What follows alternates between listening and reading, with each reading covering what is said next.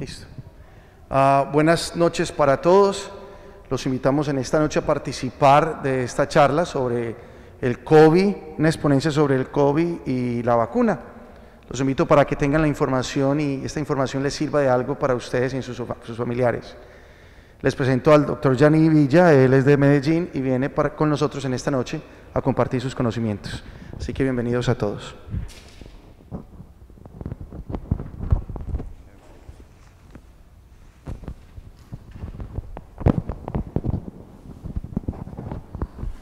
Buenas noches. Eh, ¿Se escucha bien ahí? Eh, bueno, eh, inicialmente muchas gracias por la invitación, por la oportunidad entonces de compartirles alguna información, principalmente acerca de la vacunación y la importancia de la vacunación frente a la enfermedad COVID-19, que llevamos ya un año largo con ella y que ha cambiado bastante nuestras vidas. El primer concepto entonces que quiero traer acá es qué es eso de, la inmunización. Cuando nos hablan de la inmunización a muchos nos suena a un concepto muy raro, como si fuera algo muy desconocido, pero realmente nosotros, la, la sociedad, llevamos más de 100 años realizando estas inmunizaciones en los seres humanos.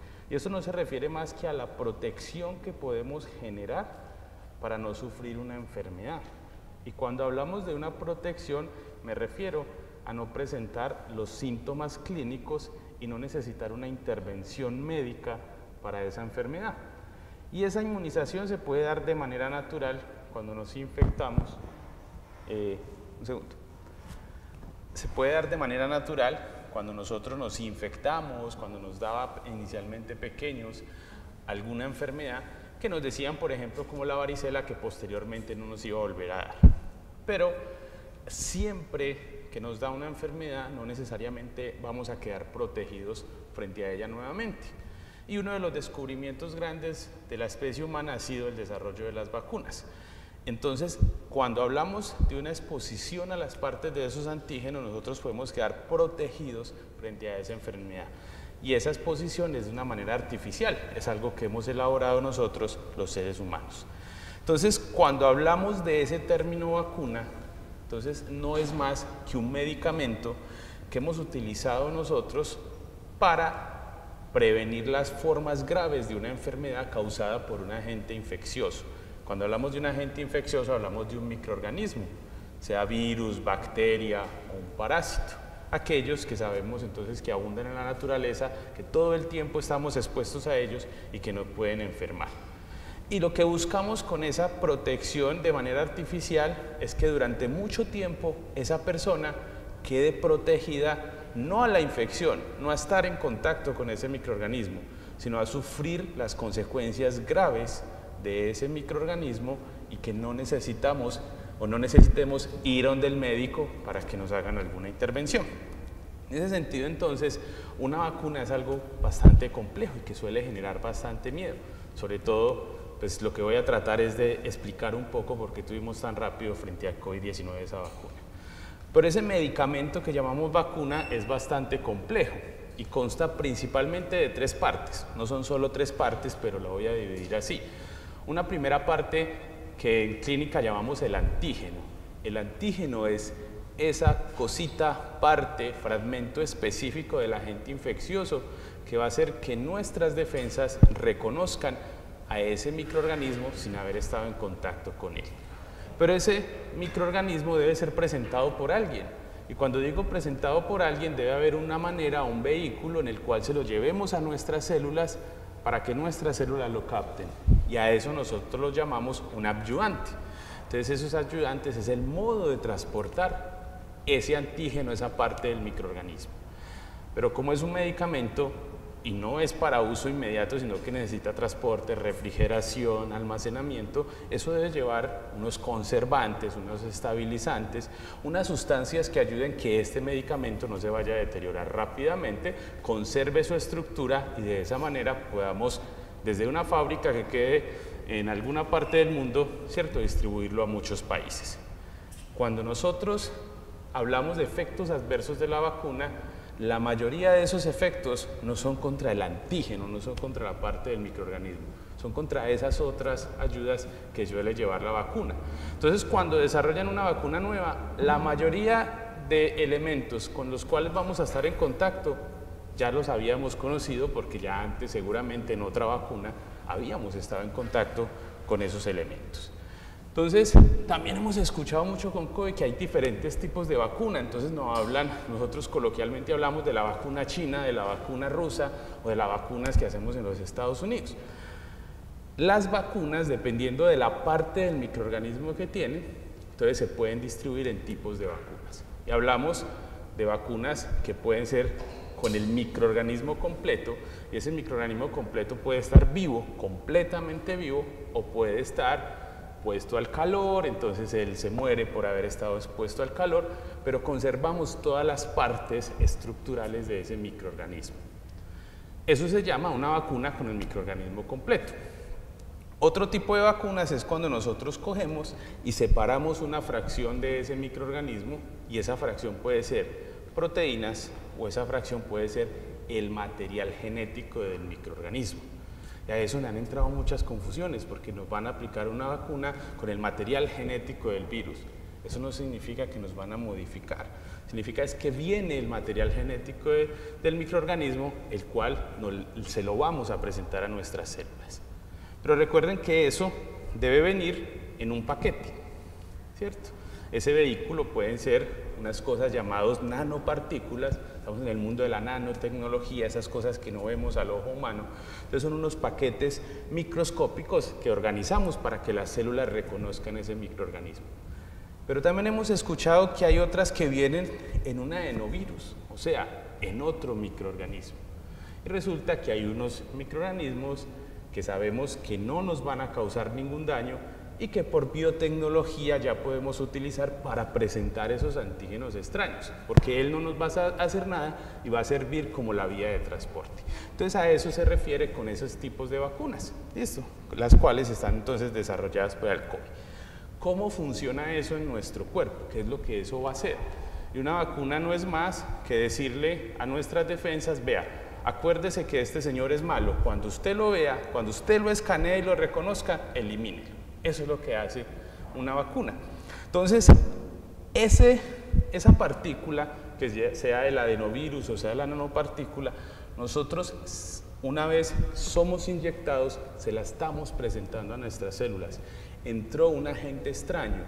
Nuestras células, que pueden actuar como patrulleros, van a ir a ese sitio donde ocurrió un trauma. ¿Qué pasó? ¿Qué me inyectaron? ¿Usted quién es? Preséntese. Y en ese momento esos polizones van a convertirse en una célula vacunada. ¿Y qué hace esa célula vacunada? Es que va a adquirir la capacidad de producir ese antígeno extraño. ¿Cómo así que de producir ese antígeno extraño? Ella reconoce a un villano, lo escanea y entonces lo muestra como en su superficie o es como mostrar una foto diciendo, vea, este señor es extraño, si lo ven, elimínenlo necesitamos hacer algo contra él. Entonces el primer paso es que se generen, ¿cierto?, el reconocimiento de esas proteínas del microorganismo. Una vez se genera eso, hay otro tipo de células que reconocen ese villano y son las que se empiezan a encargar de hacer la memoria. Entonces hay unas partículas solubles que tenemos nosotros en la sangre que se llaman anticuerpos. Todos hemos escuchado, es que tiene los anticuerpos altos, bajitos esos anticuerpos de los que nos hablan no son más que las sustancias encargadas de reconocer ese microorganismo, ya sea la parte específica, ya sea el microorganismo completo. Y al reconocerlo, entonces, una vez se enfrenten a ese villano, ya saben quién es, lo van a capturar, lo van a neutralizar y ese señor no nos puede causar daño. Y es la manera entonces como van a funcionar estas vacunas. Ahora, ¿Cómo es ese proceso para que todo eso ocurra? ¿cierto? Entonces, dependiendo de, ese medicamento, porque es un medicamento, recuerden que hay medicamentos que nos tomamos de una sola dosis, que nos mandan por un día, que nos mandan por cinco días, antibióticos que tenemos que usar por siete, diez, incluso más días cuando es una infección grave. Lo mismo ocurre con las vacunas. Entonces, cuando nos dan una primera inyección, nos están presentando por primera vez ese villano. Más o menos unas dos semanas después de esa inyección, vamos a tener una protección parcial. ¿Qué significa eso? Que algunas de nuestras células se van a acordar de él, pero no las suficientes como para evitar que él haga daño. Entonces no todos los patrulleros conocen al villano, entonces todavía él tiene sitios por donde escapar. Y por eso damos un segundo refuerzo. Hay vacunas como por ejemplo la del tétano, que son casi seis vacunaciones que tenemos que tener durante toda la vida para estar completamente vacunados. Entonces, esa segunda inyección que nos dan es como para que el resto de patrulleros, o sea, de nuestras células guardianas, acaben de reconocer a ese villano. Y una vez esas células terminan de reconocerlo, necesitamos otras dos semanas. ¿Para qué? Para tener una protección completa. Pero ahora, ¿a qué me refiero con protección completa? Todos hemos escuchado que las vacunas protegen 60, 90%, ¿cierto? Entonces ya vamos a explicar en qué consiste ese porcentaje de protección. Pero a lo que me refiero con vacuna completa es que usted ya tuvo el esquema completo de vacunación y usted ya está protegido dos semanas después. Antes de eso no va a estar protegido frente a ese villano. Listo. Ahora, ¿en qué consiste ese porcentaje? ¿Cierto? Aquí lo que quiero explicar es en qué consiste ese porcentaje. Cuando se hace un estudio clínico para evaluar cualquier medicamento, se coge un grupo de personas, se divide en dos grupos y a una se le da el placebo. ¿Qué le damos de placebo? El adyuvante, o sea, el vehículo en el que íbamos a poner ese antígeno y todos esos conservantes que debería llevar para evaluar que no sean malignos para nosotros, entonces es lo que se llaman las fases de evaluar la seguridad. Y segundo, tenemos un grupo en el cual, además de eso, ponemos el antígeno, o sea, el villano. Y en ese grupo vamos a estar evaluando la efectividad, ¿cierto? Resulta que en uno de los estudios frente al COVID participaron 43 mil personas. Normalmente en los ensayos clínicos se hacen de 10 a 15 mil personas. Aquí fue casi la una, una, tercera parte más, o perdón, casi multiplicado por 3. ¿Por qué? Porque estábamos ante una emergencia y teníamos mucho más voluntarios. Y de esas 43 mil personas se enfermaron 170. Ahora, ese concepto de efectividad que se refiere, ¿dónde vamos a ubicar nosotros esos 170 pacientes que contrajeron la enfermedad? En este mismo estudio estaban localizados así. 162 personas con el placebo se enfermaron y ocho personas con la vacuna se enfermaron. ¿Qué significa eso? Que hubo que en las personas que recibieron la vacuna hay un 95% menos de probabilidad de adquirir la enfermedad. Y eso no significa que de 100 personas 5 se enferman, no, así no aplica el concepto. El concepto aplica es de dos personas que se exponen al virus, si una está vacunada y la otra no, esa persona vacunada tiene un 95% menos de probabilidad de, enfermar, de no enfermarse que la persona que no está vacunada. ¿Listo? Eso es el concepto de efectividad de la vacuna. Entonces, vámonos al COVID. Hace más o menos ya casi año y medio, apareció entonces en una ciudad de China llamada Wuhan una nueva infección causada por un coronavirus que anteriormente ese coronavirus era para nosotros un virus que causaba un resfriado común, ni siquiera la gripe, porque resfriados comunes tenemos mucho. Cuando hablamos de la gripe hablamos de la influenza y la influenza es la peor de las gripas, esa enfermedad conocida como la rompehuesos, que nos tira a la cama, nos da fiebre, mucha debilidad, pero tenemos muchos tipos de, gripes. Esos coronavirus eran uno más, que no causaba ninguna eh, sintomatología grave aparte de un proceso de resfriado común. Y de ese coronavirus pues sabíamos que tenía una proteína llamada una proteína spike, la famosa proteína S o proteína spike, que infectaba nuestras células porque esa proteína spike reconocía un receptor específico nuestro y por ahí entraba. ¿Y qué células presentaban ese receptor? O sea, ¿a qué células podía entrar? Principalmente el sistema respiratorio, pero ese receptor lo tenemos en células del corazón, en células del sistema digestivo, en células de los riñones. O sea, el microorganismo puede infectar en muchas partes. Y resulta que entonces a un microorganismo que salió hace año y medio, tenemos ahora una vacuna. Cuando salió la pandemia todos queríamos la vacuna, la vacuna, pero salió la vacuna, yo no quiero porque ¿por qué eso salió tan rápido? ¿Cierto? Eso está muy raro. Te resulta que si hablamos de vacunación, la humanidad, las personas tenemos más de 100 años de experiencia con las vacunas. La primera vacuna salió en 1796 y nos demoramos 100 años para entender ese concepto, hasta que llegó un señor llamado Louis Pasteur, un francés, y ese señor nos enseñó que eso se llamaba inmunización, le puso la palabra luego vacunación, y a partir de ahí empezamos a proteger a la humanidad, ¿cierto?, frente a las enfermedades. Además de eso, en los últimos 50 años hemos visto un avance biotecnológico impresionante. El descubrimiento del DNA por Watson y Crick, el genoma humano, que duró 13 años y que se dice que el avance biotecnológico que tuvo el desarrollo del genoma humano fue igual o superior al desarrollo que tuvimos para poder llegar a la Luna. Entonces, el avance biotecnológico fue muy grande. Además de eso, la vacunación se convirtió entonces en una prioridad, cuando digo prioridad es económica, que se invierte dinero para estudios de vacunación, para desarrollo de nuevas vacunas, que además de eso ya nos habíamos enfrentado dos veces al coronavirus. En el 2003 con el SARS-1 y en el 2012 con el MERS, el del Medio Oriente. Entonces teníamos una epidemia, todo el planeta estaba enfocado en qué? En el desarrollo de la vacuna. Necesitamos recursos, necesitamos dinero. Acabé de mencionar que en el 2003 apareció el primer coronavirus causante de enfermedad grave. Desde ahí, lo que ustedes ven ahí es un montón de artículos de investigadores científicos diciendo diferentes cosas acerca del coronavirus.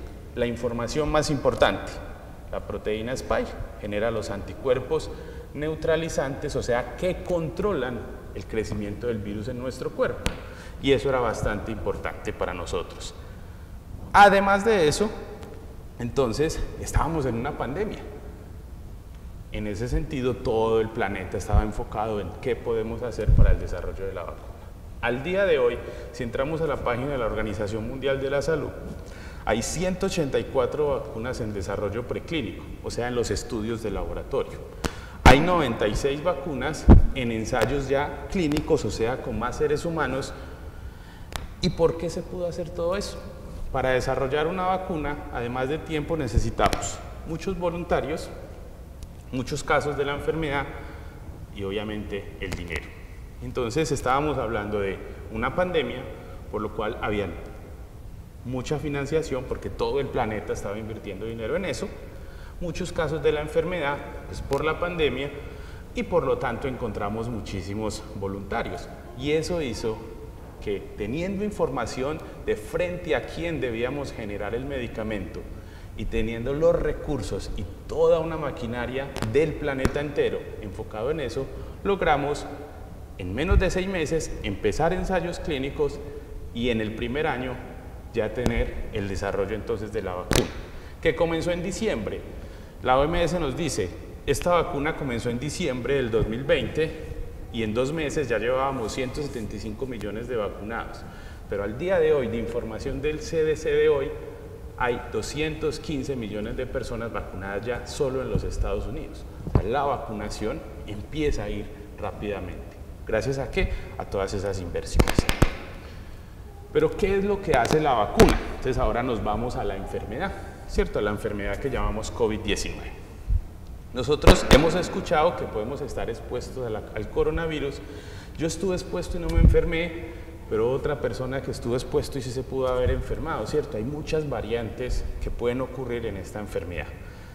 Frente a la exposición podemos tener personas que no se, no se infectan ni siquiera, les hacen los test de PCR, de antígeno, la prueba que sea y la persona no se le detecta el microorganismo.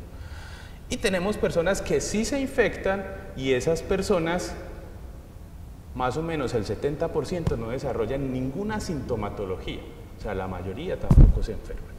Pero hay un grupo, un 30% de personas que pueden tener desde una enfermedad leve aquel que tiene fiebre, malestar general, tiene que quedarse en casa, aislado, pero no necesita intervención a gran escala médica. Pero también hemos tenido entonces de ese 30%, la mitad la tuvimos que llevar al hospital. Y aquellos que tuvieron que estar hospitalizados podían tener enfermedad moderada, que solo necesitaban pues intervención médica y de pronto oxígeno eh, en el hospital, pero hay un grupo de personas que tenía también la enfermedad grave. Y esos que tienen esa enfermedad grave, ya la mitad de ellos sabemos que van a morir o que tienen una alta probabilidad de morir.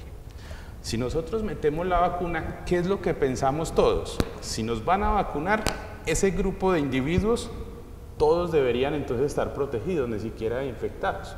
ese es el término que, o, o las cosas que debemos empezar a cambiar. La verdad que la vacunación no está hecho para no infectarnos, no. La vacunación está hecha para evitar las consecuencias graves de esa infección.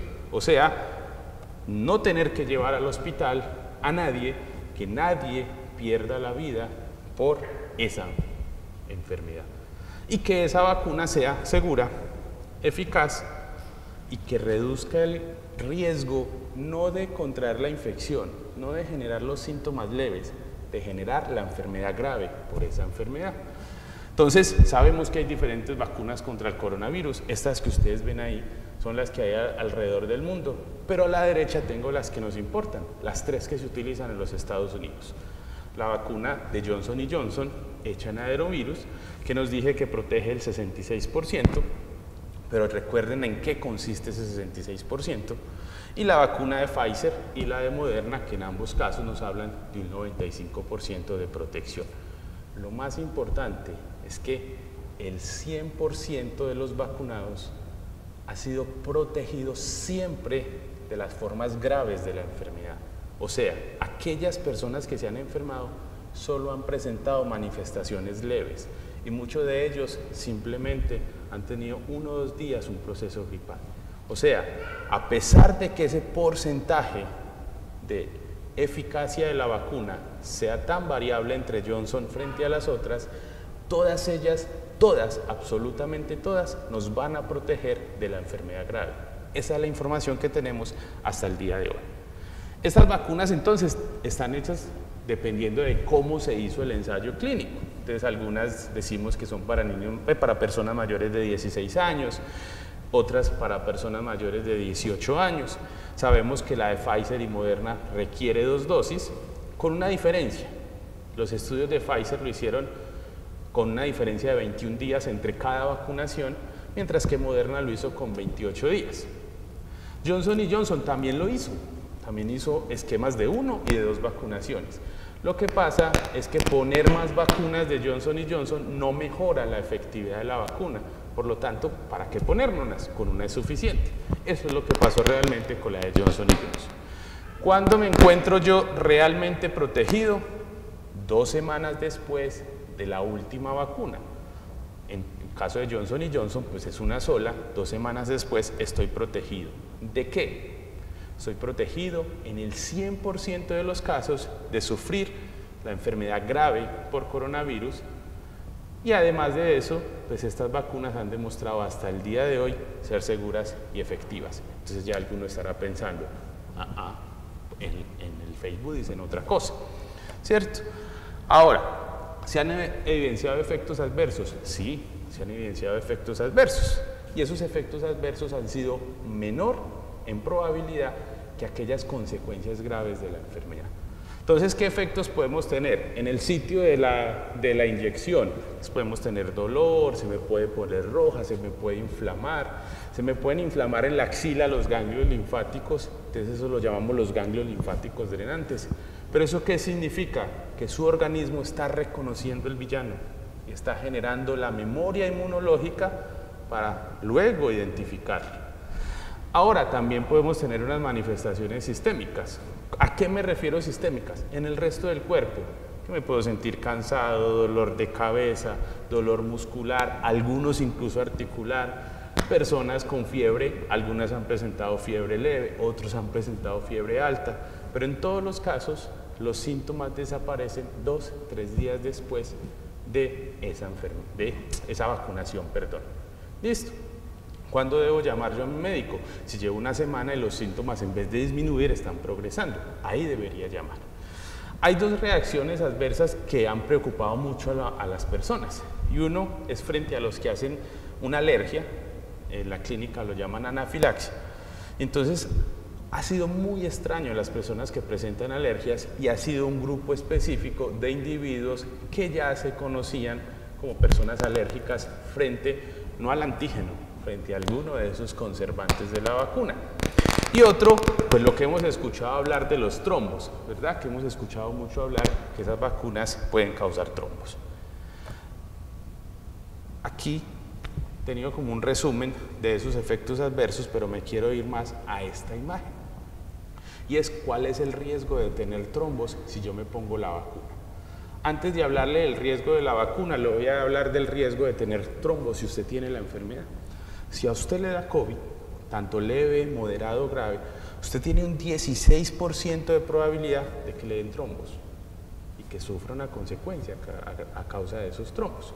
Ahora, si usted fuma, usted tiene un 0.18% de que le den trombos. Ah, muy bajito, yo por eso sigo fumando. Eso es, eso es algo, digamos, que es relativamente poco cuando la población que tiene ese evento, o sea, que se enferma con COVID o que fuma es poca, pero cuando son millones ese porcentaje ya no es tan insignificante.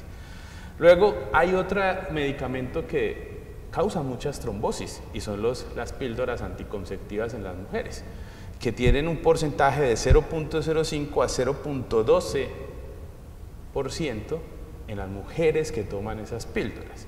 ¿sí? Pero resulta que las vacunas, tanto las de AstraZeneca, o sea, son las vacunas hechas en adenovirus como la de Johnson Johnson, han presentado cuatro casos por millón en el caso de la de AstraZeneca y siete casos por millón en el caso de la de Johnson Johnson. Eso significa una probabilidad menor a 0.0004% de sufrir un trombo. ¿Han ocurrido? Sí, pero yo hago la comparación es para que tengan en cuenta que si tiene la enfermedad, usted tiene más de un 16% de probabilidad de sufrir trombos. Si le tienen la vacuna, pues es que es menos del 1%, ¿cierto?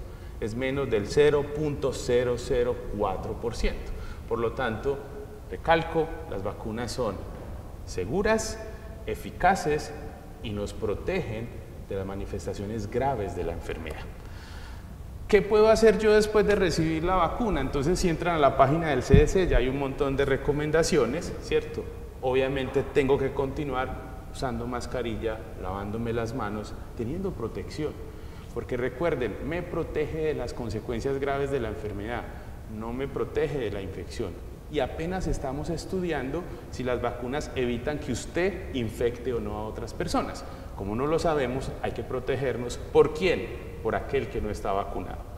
Y me gustó mucho esto de el CDC. Entonces aquí nos muestra qué actividades puede comenzar a hacer una persona que está vacunada. Entonces si miran el de la derecha ya tiene luz verde casi para todo, menos para qué, para estar en aglomeraciones. Si está en aglomeraciones, póngase la mascarilla porque usted no sabe quién está vacunado y quién no.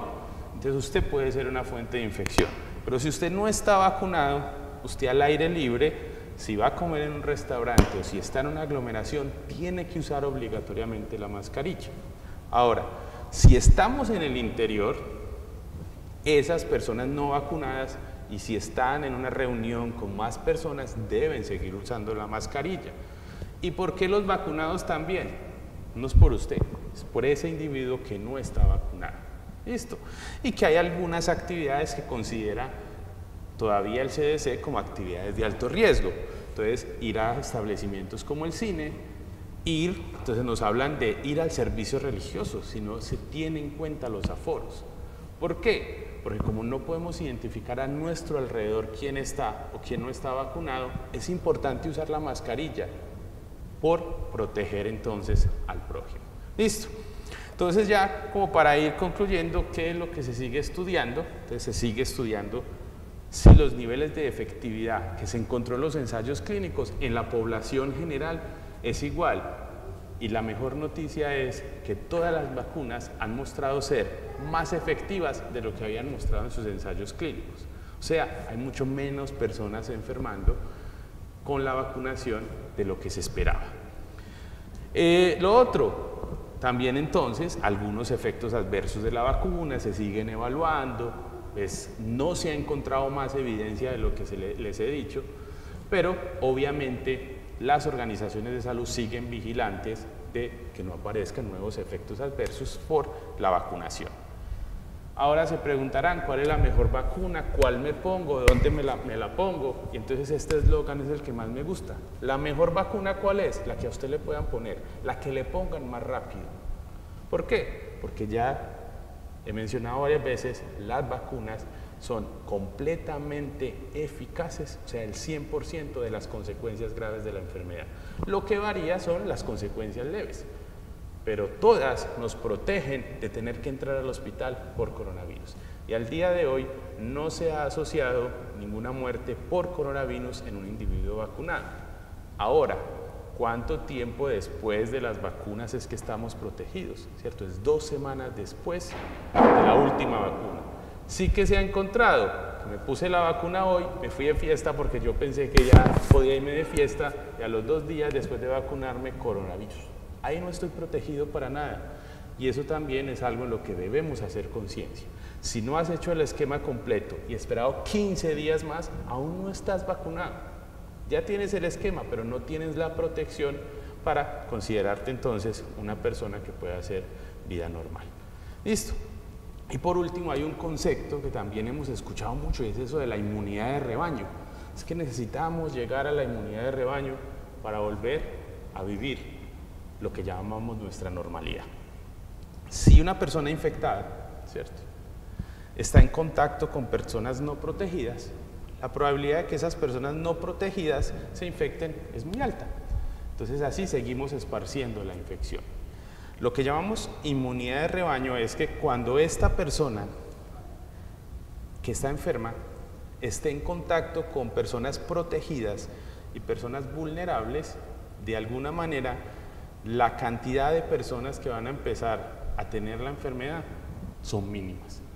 Y en ese sentido podríamos decir que esa población se encuentra ya protegida frente a la enfermedad.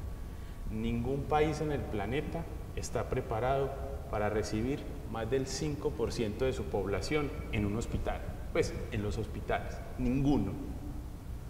En ese sentido, el coronavirus nos causó muchos problemas porque la cantidad de personas estaba sobrepasando las cifras de capacidad de nuestro sistema de salud. Entonces necesitamos esperar a llegar a esa inmunidad de rebaño no significa que no se van a enfermar personas, significa que vamos a estar en capacidad de atenderlos, de administrarles los medicamentos y la atención que necesita para que no pierda la vida por esa enfermedad. Eso era todo lo que traía entonces para compartirles. Si tienen alguna pregunta la pueden hacer en la web y yo posteriormente se las estaría contestando. Listo. Muchas gracias.